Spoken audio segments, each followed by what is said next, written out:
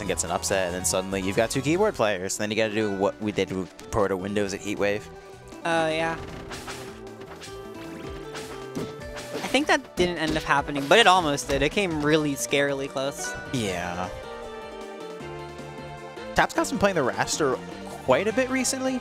He did really well, I think, in a tournament the other day, resetting Soul, the bracket on Soul um, Rifle. Go to school, yeah. Yeah, the thing they were in Academy. And then he also went to MomoCon, getting second at that and taking Cake Assault to Game 5 with his Wrastor. Wow. Yeah, I've heard uh, I remember Sorrowful saying this is a very scary Wrastor, and I actually didn't see any of the stats earlier, so this is the first I'm seeing of it. Yeah, and if he's vouching for it, you know it's got to be good.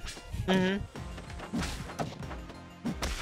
That goal call it on the F smash. Not sure if that was intentional, but ended up working out. Giga falling into it. Yeah. Tap's punish game has been incredibly on point, especially in his set with Durai earlier. A lot of his punish is just incredibly clean. You can tell this is a very refined Wrastor.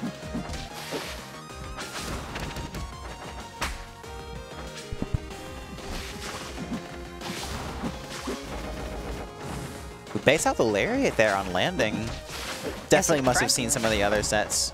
It's not his first time seeing or playing against a Hodan, just having that awareness to, you know, be mindful of his recovery Right. and just baiting it out. Because that's kind of the thing about Hodan. He's he's really weird. That's a lot of like long-lasting hitboxes that you really have to respect. And if you're not doing that, he's gonna hit you with a.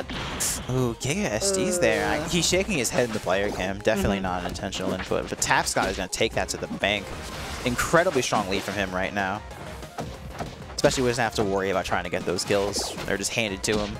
Right. Ooh, Giga interrupting that with a dare and potentially getting the kill off this on the side. I think it's interesting that Giga opts to try to do like throw down the sweat spirits. Because I was always wondering like that seems like a good strategy, but it takes too much time. But it has it has been one of the main edge guarding tools he's been relying on this bracket. So it's clearly there's some merit to it. Tapscott taking an incredibly comfortable game one there.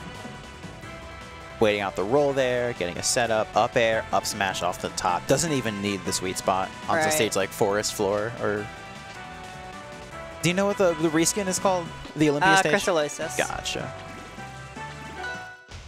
Really good up tilt there. We're gonna be going to Gates game two. I kind of like this. We're trying to just hang on to these stocks slightly longer. Yeah, these blast zones are very, very big.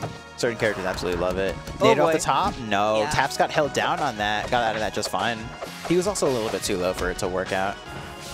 I think it was mostly Giga just being too low when he started. Yeah. But I, I understand the idea for He sure. didn't get he didn't get swept up to it immediately as well. He kind of like not really jumped, but just like he didn't get hit by the first couple hits. Mhm. Very, very good attempted setup there, using the dash attack to catch Giga going low, and then using Dare to pop him forward, and then going for the F smash, but Giga just barely escapes it. Yeah. Tap's doing a lot more aerial approaching, especially off these platforms, using moves like Dare to just catch him slipping. And the steeper monkey ball, I think, it's gonna be taking with the bad DI. Yeah, really hard to- smash is deadly. It's hard to see it coming a lot of the time. Yeah, it's incredibly fast, and especially with something that kills that potently. Yeah, like you would think it's obvious, but no, it just, it just goes so fast. He's up there in like three frames or however long it is. Yeah, Tapscott, Tapscott tries to not deal with that just because of the lingering hitbox coming out, and Wrastor doesn't have that much disjoint apart from Bear and Dare. Right. Oh boy. Good parry on that. He's definitely familiar with these recoveries that Giga's doing.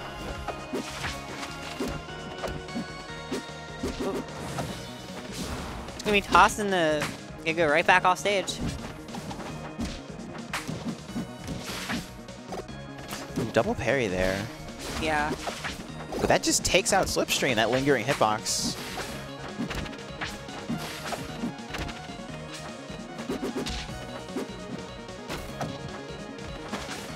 You're sending the wrong way, and Ooh, he dies for that raw up B. Giga just takes full advantage of that and takes the lead here in game two.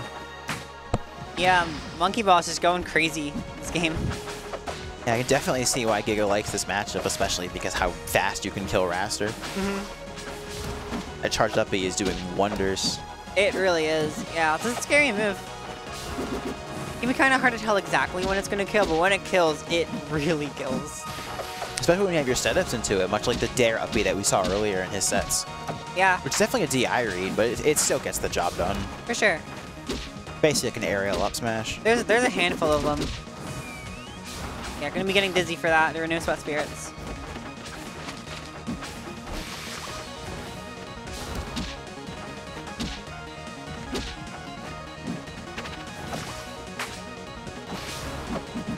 You're just taking the one right there. There aren't too many sweat spirits out right now, so could limit a few of his options. Ooh, Tapscott just barely avoiding that charge F smash. Yeah. And catching the DI. Definitely closer than game one was, but Tapscott still looking incredibly dominant. Yeah, it's tough. Us is able to kill off of such few mistakes, and it's kind of true for Hodan as well, but it's a lot harder for Hodan to actually get his openings. Yeah, when you get that center angle flipper hitbox on the up to, on the up air, it's really really hard to DI, especially Mhm. when you can just hit fall that and then immediately get a either F smash or up smash depending on which way you go. For Definitely sure. a staple of Wrastor's confirms.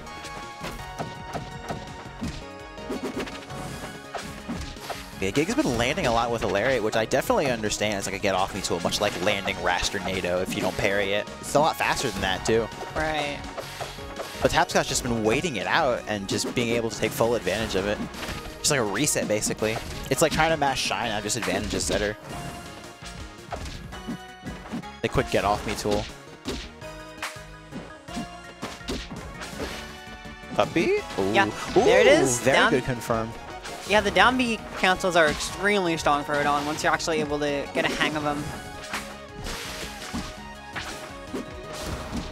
Yeah, Giga still got a lot of his bag of tricks that he can pull out against Tapscott. It may be looking like he's down 2-0, but he's looking pretty strong in this game 3. Especially from the setups we've seen earlier in his set against Penguin.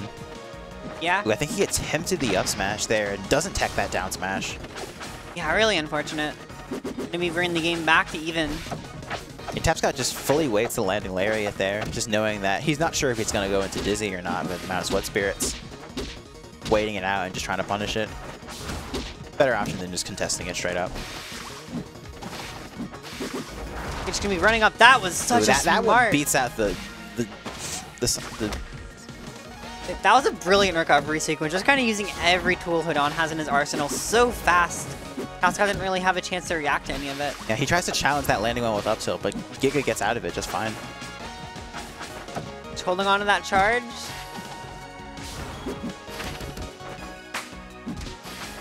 Up B off the top. Yeah. Is again slight lead for Hodan, or for Giga. Got a lot of life But- going in this game. But maybe not for long. Tapscott's got him back off stage. Yeah, just one setup and it's basically going to be even. Giga trying to make this lead count as much as possible.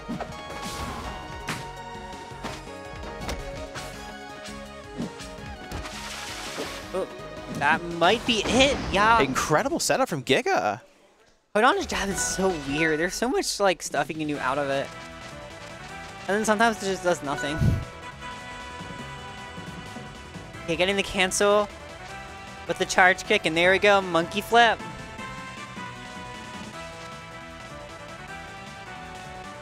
Classic. So Giga getting a point on the board here, gonna have to make a big reverse 3-0. He wants to prove the See power where this counter pick goes. No Tempest, no FD, no Frozen. Going to Julesvale as the starter. Interesting. This is Tapscott's kind of pick. I think that makes sense. Yeah, it's just a good neutral stage. I know Absa and Wrastor like a lot of the same stages. Mhm. Definitely understand why this is a good counter pick for I generally see this as like a good air character stage. Absolutely. Just for like all of them. I like it a lot for Ellie too. Not so sure for Pomme, but I definitely see the benefit. Jeez, wow. these setups have been incredible from Giga. He's showing a lot of life after being down oh. 2-0. Yeah, I really like proving the power of that up B. You know, once you kind of have the hang of some of the ways to actually get into it and to charge it, incredibly potent. There it is. Oh, Ooh, I think he flubbed that. Was that meant to be an up B? I think that was a misinput. I, I feel like that totally would have killed him. Would have been two stocks in 40 seconds. Yeah. Either way, still a great lead. Gig, I mean, Tapscott with that jump call out there doesn't get the sweet spot. Doesn't matter. Yeah, gets the second one. That one's gonna kill.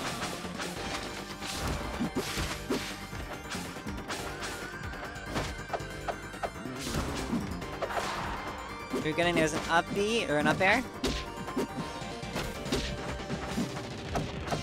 You're doing a lot of down Bs right now. Just kind Yeah, of Tap is up. just resetting him, just doing a couple punishes, and then just dropping it, knowing Giga's going to try and do a panic option. Ooh.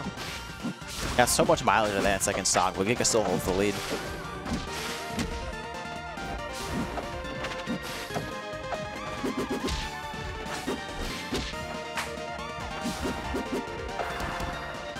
Good landing NATO there. Parries out of it.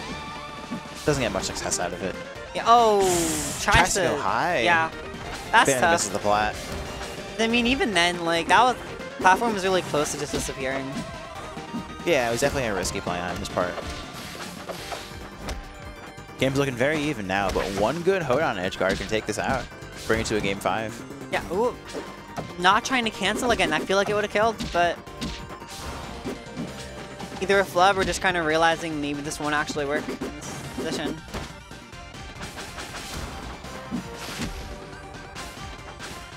Tapscott off stage. Play here.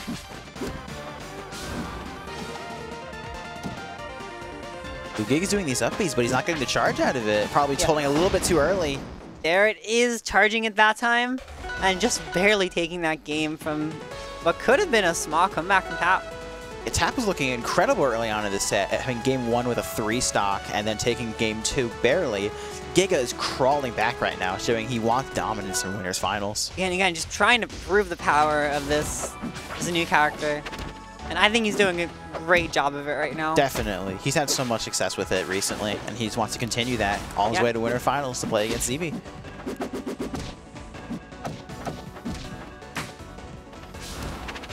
I can definitely see Spirit Tree working out for Tapscott. That's his first character like Wrastor, the side the top last one's being so thin.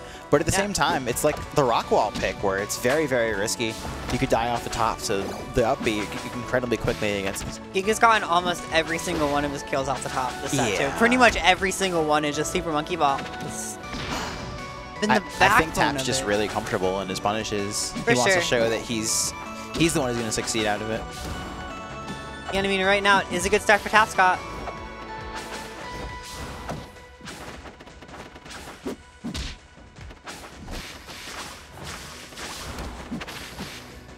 Trying to get these sweat spirits out in a good position. And Tap's just giving him that part of the stage, not wanting to contest it. Not Yeah. wanting to accidentally make one big risky play, and then he loses his lead. For sure. Just playing it safe. And, ah, for the up, he gets challenged for it. Yeah. Very risky with Wrastor. If you miss that, you take a huge amount of damage. But I can see why he wanted it with the stage with the thinnest top blast zones in the game. Mm-hmm. Really just trying to extend that lead. Getting the clap.